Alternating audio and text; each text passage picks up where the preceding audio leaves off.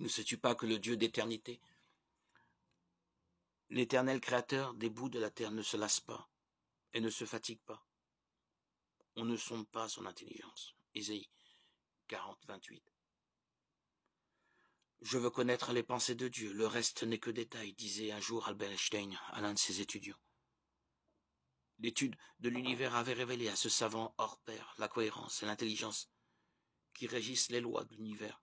Einstein ne croyait pas au hasard, mais en un Dieu créateur. Aussi cherchait-il à percer la pensée maîtresse ou l'intention de celui qui avait établi une telle harmonie. Comme ce savant, demandons-nous quel est l'objectif que Dieu poursuit à travers le chef-d'œuvre de la création dont nous faisons partie.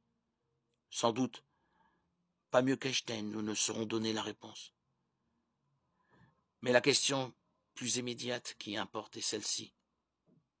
Quelle est la volonté de Dieu à mon sujet?